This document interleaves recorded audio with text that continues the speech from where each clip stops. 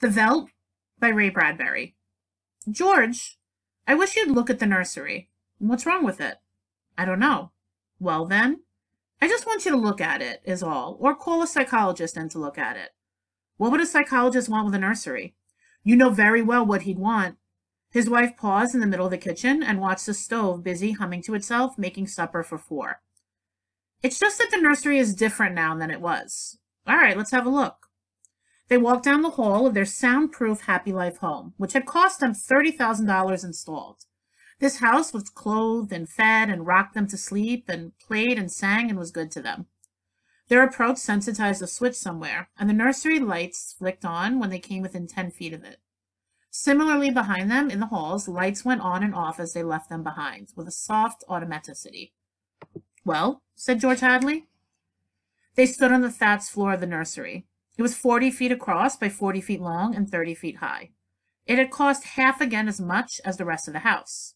But nothing's too good for our children, George had said. The nursery was silent. It was empty as a jungle glade at hot high noon. The walls were blank and two-dimensional. Now, as George and Lydia Hadley stood in the center of the room, the walls began to purr and recede into crystalline distance, it seemed. And presently an African veldt appeared in three dimensions on all sides in color, reproduced to the final pebble and bit of straw. The ceiling above them became a deep sky with a hot yellow sun. George Hadley felt the perspiration start on his brow. Let's get out of the sun, he said. This is a little too real, but I don't see anything wrong. Wait a moment, you'll see, said his wife. Now the hidden odorophonics were beginning to blow a wind of odor at the two people in the middle of the baked veldtland. The hot straw smell of lion grass, the cool green smells of the hidden waterhole, the great rusty smell of animals, the smell of dust like a red paprika in the hot air. And now the sounds. The thump of distant antelope feet on grassy sod, the papery rustling of vultures. A shadow passed through the sky. The shadow flickered on George Hadley's upturned, sweating face. Filthy creatures, he heard his wife say. The vultures? You see? There are the lions, far away over that way. Now they're on their way to the waterhole. They've just been eating, said Lydia. I don't know what. Some animal. George Hadley put his hand up to shield off the burning light from his squinted eyes. A zebra or a baby giraffe, maybe? Are you sure? His wife sounded peculiarly tense. No, it's a little late to be sure, he said amused. Nothing over there I can see but clean bone, and the vultures dropping for what's left. Did you hear that scream? she asked. No. About a minute ago. Sorry, no. The lions were coming. And again, George Hadley was filled with admiration for the mechanical genius who had conceived this room. A miracle of efficiency, selling for an absurdly low price. Every home should have one. Oh, occasionally they frightened you with their clinical accuracy. They startled you, gave you a twinge. But most of the time, what fun for everyone. Not only your own son and daughter, but for yourself when you felt like a quick jaunt to a foreign land, a quick change of scenery. Well, here it was. And here were the lions now, 15 feet away, so real, so feverishly and startlingly real that you could feel the prickling fur on your hand and your mouth was stuffed with the dusty upholstery smell of their heated pelts. And the yellow of them was in your eyes like the yellow of an exquisite French tapestry. The yellows of lions and summer grass, and the sound of the matted lion lungs exhaling on the silent noontide, and the smell of meat from the panting, dripping mouths. The lions stood looking at George and Lydia Hadley with terrible green-yellow eyes. Watch out! screamed Lydia. The lions came running at them. Lydia bolted and ran. Instinctively, George sprang after her. Outside in the hall, with the door slammed, he was laughing and she was crying, and they both stood appalled at the other's reaction. George! Lydia! Oh, my dear, poor, sweet Lydia! They almost got us! Walls, Lydia, remember? Crystal walls? That's all they are. Oh, they look real, I must admit. Africa in your parlor? But it's all dimensional, super reactionary, super sensitive color film and mental tape film behind glass screens. It's all odorophonics and sonics, Lydia. Here's my handkerchief. I'm afraid. She came to him and put her body against him and cried steadily. Did you see? Did you feel? It's too real. Now, Lydia, you've got to tell Wendy and Peter not to read any more on Africa. Of course, of course. He patted her. Promise? Sure. And lock the nursery for a few days until I get my nerves settled. You know how difficult Peter is about that. When I punished him a month ago by locking the nursery for even a few hours, the tantrum he threw. And Wendy, too. They live for the nursery. It's got to be locked. That's all there is to it. All right. Reluctantly, he locked the huge door. You've been working too hard. You need a rest. I don't know. I don't know, she said, blowing her nose, sitting down in a chair that immediately began to rock and comfort her. Maybe I don't have enough to do. Maybe I have time to think too much. Why don't we shut the whole house off for a few days and take a vacation? You mean you want to fry my eggs for me? Yes, she nodded. And darn my socks? Yes. A frantic, watery-eyed nodding. And sweep the house? Yes. Yes. Oh, yes. But I thought that's why we bought this house, so we wouldn't have to do anything. That's just it. I feel like I don't belong here. The house is wife and mother now, and nursemaid. Can I compete with an African Veldt? Can I give a bath and scrub the children as efficiently or quickly as the automatic scrub bath can? I cannot. And it isn't just me, it's you. You've been awfully nervous lately. I suppose I have been smoking too much. You look as if you don't know what to do with yourself in this house either. You smoke a little more every morning, and you drink a little more every afternoon, and you need a little more sedative every night. You're beginning to feel unnecessary too. Am I? He paused and tried to feel into himself to see what was really there. Oh, George! She looked beyond him at the nursery door. Those lions can't get out of there, can they?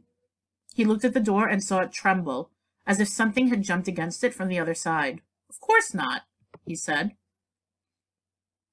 At dinner, they ate alone, for Wendy and Peter were at a special plastic carnival across town and had televised home to say they'd be late, to go ahead eating. So George Hadley, bemused, sat watching the dining room table produce warm dishes of food from its mechanical interior. We forgot the ketchup, he said. Sorry, said a small voice within the table, and ketchup appeared. As for the nursery, thought George Hadley, it won't hurt for the children to be locked out of it a while. Too much of anything isn't good for anyone. And it was clearly indicated that the children had been spending a little too much time on Africa. That sun, he could feel it on his neck still like a hot paw. And the lions. And the smell of blood. Remarkable how the nursery caught the telepathic emanations of the children's minds and created life to fill their every desire. The children thought lions, and there were lions. The children thought zebras, and there were zebras. Sun, sun. Giraffes, giraffes. Death, and death. That last he chewed tastelessly on the meat that the table had cut for him. Death thoughts. They were awfully young, Wendy and Peter, for death thoughts. Or, no, you were never too young, really. Long before you knew what death was, you were wishing it on someone else. When you were two years old, you were shooting people with cat pistols. But this, the long, hot African veldt, the awful death in the jaws of a lion, and repeated again and again, where are you going? He didn't answer Lydia.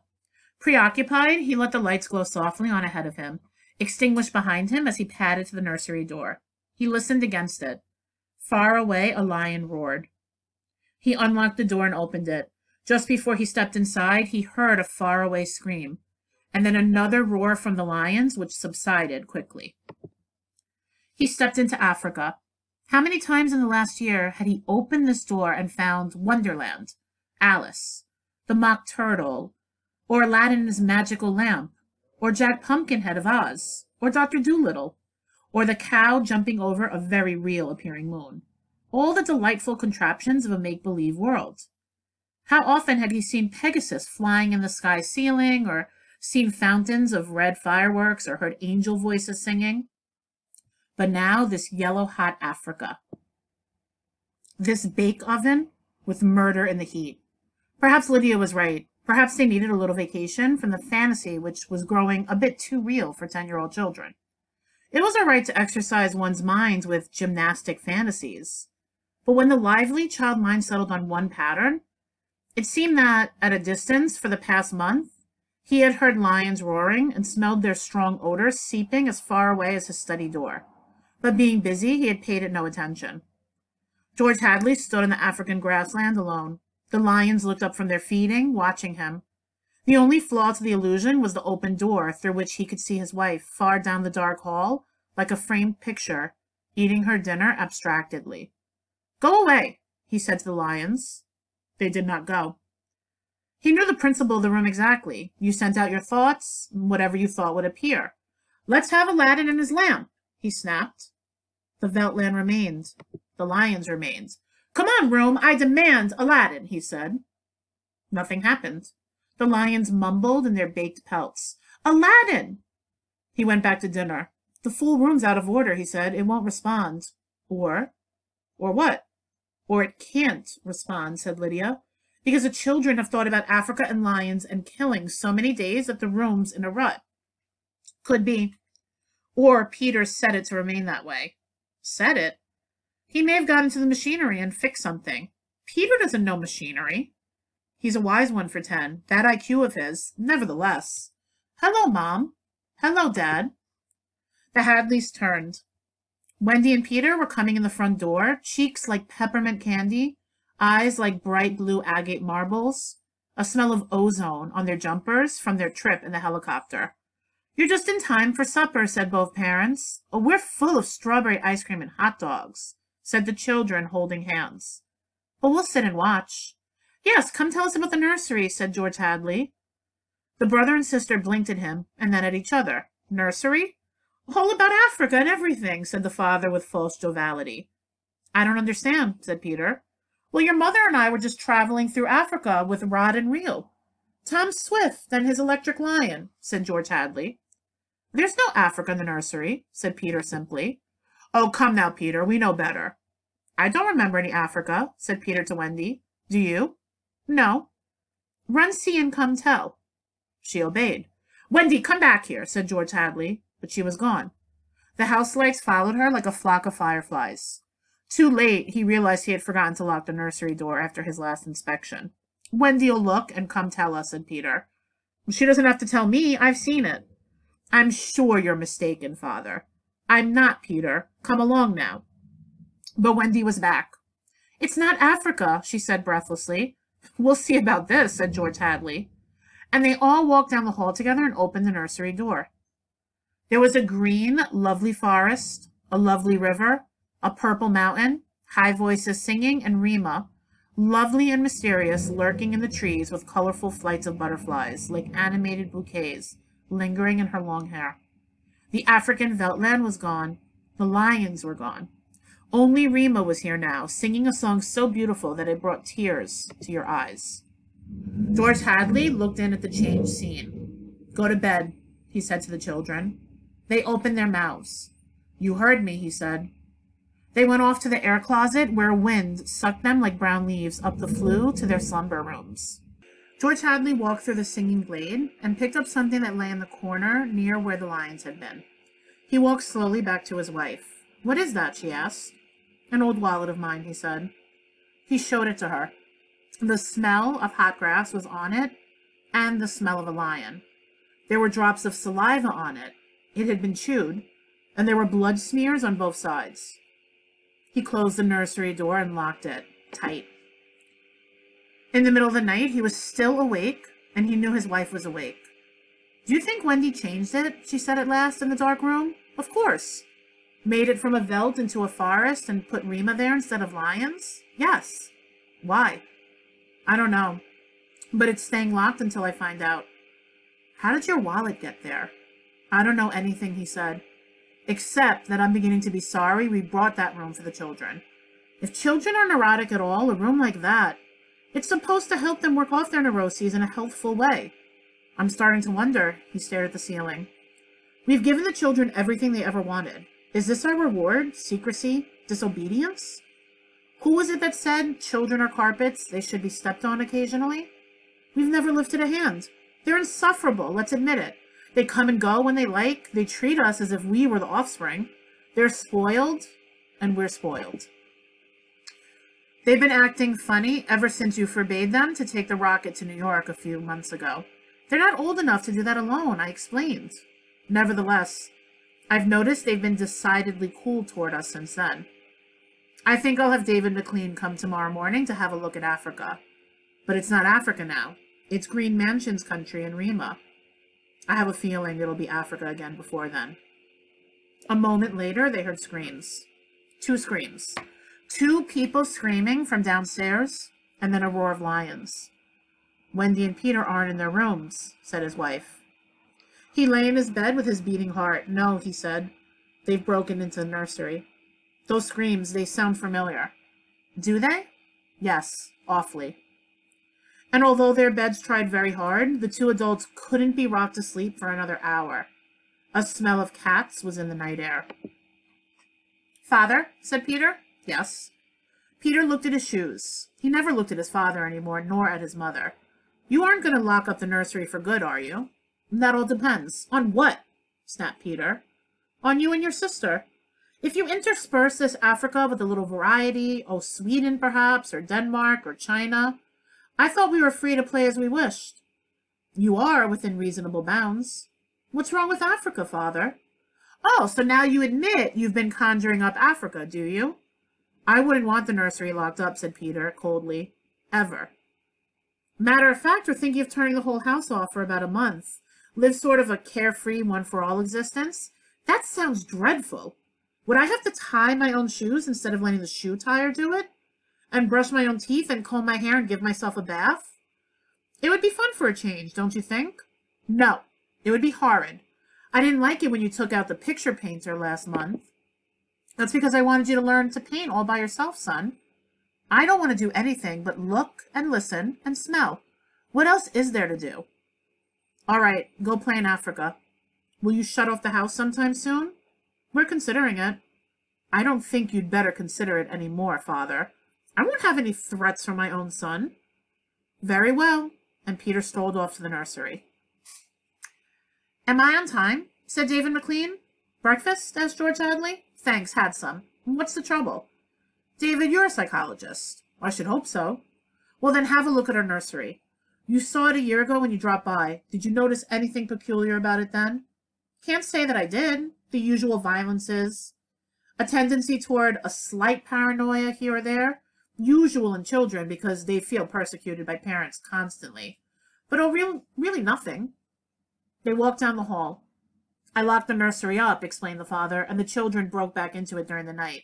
I let them stay so they could form the patterns for you to see. There was a terrible screaming from the nursery. There it is, said George Hadley. See what you make of it. They walked in on the children without rapping. The screams had faded. The lions were feeding. Run outside a moment, children, said George Hadley. No, don't change the mental combination. Leave the walls as they are. Get. With the children gone, the two men stood studying the lions clustered at a distance, eating with great relish whatever it was they had caught. I wish I knew what it was, said George Hadley. Sometimes I can almost see. Do you think if I brought high-powered binoculars here and David McLean laughed dryly. Hardly. He turned to study all four walls. How long has this been going on? A little over a month. It certainly doesn't feel good. I want facts, not feelings. My dear George, the psychologist never saw a fact in his life. He only hears about feelings, vague things. This doesn't feel good, I tell you. Trust my hunches and my instincts. I have a nose for something bad. This is very bad. My advice to you is to have the whole damn room torn down and your children brought to me every day during the next year for treatment. Is it that bad? I'm afraid so.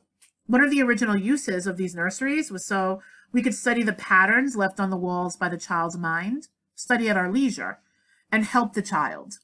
In this case, however, the room has become a channel toward destructive thoughts instead of a release away from them. Didn't you sense this before? I sensed only that you had spoiled your children more than most. And now you're letting them down in some way. What way? I wouldn't let them go to New York. What else? I've taken a few machines from the house and threatened them a month ago with closing up the nursery unless they did their homework. I did close it for a few days to show I meant business. Aha! Does that mean anything? Everything. Where before they had a Santa Claus, now they have a Scrooge. Children prefer Santas. You've let this room and this house replace you and your wife in your children's affections. This room is their mother and father, far more important in their lives than their real parents. And now you come along and you want to shut it off? No wonder there's hatred here. You can feel it coming out of the sky. Feel that sun. George, you'll have to change your life. Like too many others, you've built it around creature comforts. Why, you'd starve tomorrow if something went wrong in your kitchen. You wouldn't know how to tap an egg. Nevertheless, turn everything off. Start new. It'll take time, but we'll make good children out of bad in a year. Wait and see. But won't the shock be too much for the children, shutting the room up abruptly for good? I don't want them going any deeper into this, that's all. The lions were finished with their red feast. The lions were standing on the edge of the clearing, watching the two men. Now I'm feeling persecuted, said McLean. Let's get out of here. I never have cared for these damn rooms. Make me nervous. The lions look real, don't they? said George Hadley. I don't suppose there's any way. What? That they could become real? Not that I know. Some flaw in the machinery, a tampering or something? No. They went to the door. I don't imagine the room will like being turned off, said the father. Nothing ever likes to die, even a room. I wonder if it hates me for wanting to switch it off.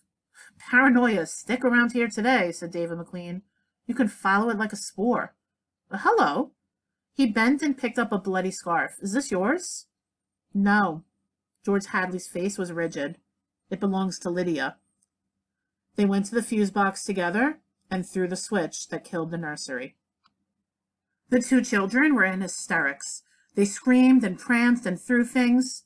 They yelled and sobbed and swore and jumped at the furniture. You can't do that to the nursery. You can't. Now, children. The children flung themselves onto a couch weeping. George, said Lydia Hadley, turn on the nursery. Just for a few moments. You can't be so abrupt. No. You can't be so cruel. Lydia, it's off and it stays off, and the whole damn house dies as of here and now. The more I see of the mess we put ourselves in, the more it sickens me. We've been contemplating our mechanical electronic navels for too long. My God, how we need a breath of honest air. And he marched about the house, turning off the voice clocks, the stoves, the heaters, the shoe shiners, the shoelacers, the body scrubbers, and the swabbers and massagers, and every other machine he could put his hand to. The house was full of dead bodies, it seemed. It felt like a mechanical cemetery, so silent. None of the humming hidden energy of machines waiting to function at the tap of a button. Don't let them do it, wailed Peter at the ceiling, as if he was talking to the house, the nursery. Don't let father kill everything. He turned to his father. Oh, I hate you. Insults won't get you anywhere. I wish you were dead. We were, for a long while. Now we're going to really start living. Instead of being handled and massaged, we're going to live. Wendy was still crying, and Peter joined her again. Just a moment, just one moment, just another moment of nursery, they wailed. Oh, George, said the wife, it can't hurt. All right, all right, if they'll just shut up. One minute, mind you, and then off forever. Daddy, daddy, daddy, sang the children, smiling with wet faces. And then we're going on a vacation. David McLean is coming back in half an hour to help us move out and get to the airport. I'm going to dress. You turn on the nursery on for a minute, Lydia. Just a minute, mind you and the three of them went babbling off while he let himself be vacuumed upstairs through the air flue and set about dressing himself. A minute later, Lydia appeared. I'll be glad when we get away, she sighed. Did you leave them in the nursery? I wanted to dress too. Oh, that horrid Africa. What can they see in it? Well, in five minutes, in five minutes, we'll be on our way to Iowa. Lord, how did we ever get in this house? What prompted us to buy a nightmare? Pride? Money? Foolishness? I think we'd better get downstairs before those kids get engrossed with those damn beasts again. Just then, they heard the children calling, Daddy! Mommy! Come quick! Quick! They went downstairs in the air flue and ran down the hall. The children were nowhere in sight. Wendy? Peter? They ran into the nursery. The Veldtland was empty, save for the lions waiting, looking at them. Peter? Wendy? The door slammed. Wendy? Peter? George Hadley and his wife whirled and ran back to the door. Open the door! cried George Hadley, trying the knob. Why, they've locked it from the outside. Peter, He beat at the door. Open up! He heard Peter's voice outside against the door. Don't let them switch off the nursery in the house, he was saying. Mr. and Mrs. George Hadley beat at the door. Now don't be ridiculous, children. It's time to go. Mr. McLean will be here in a minute and... And then they heard the sounds. The lions, on three sides of them, in the yellow veldt grass, padding through the dry straw, rumbling and roaring in their throats. The lions. Mr. Hadley looked at his wife, and they turned and looked back at the beast, edging slowly forward, crouching, tail stiff. Mr. and Mrs. Hadley screamed, and suddenly they realized why those other screams had sounded familiar. Well, here I am, said David McLean in the nursery doorway. Oh, hello. He stared at the two children, seated in the center of the open glade, eating a little picnic lunch.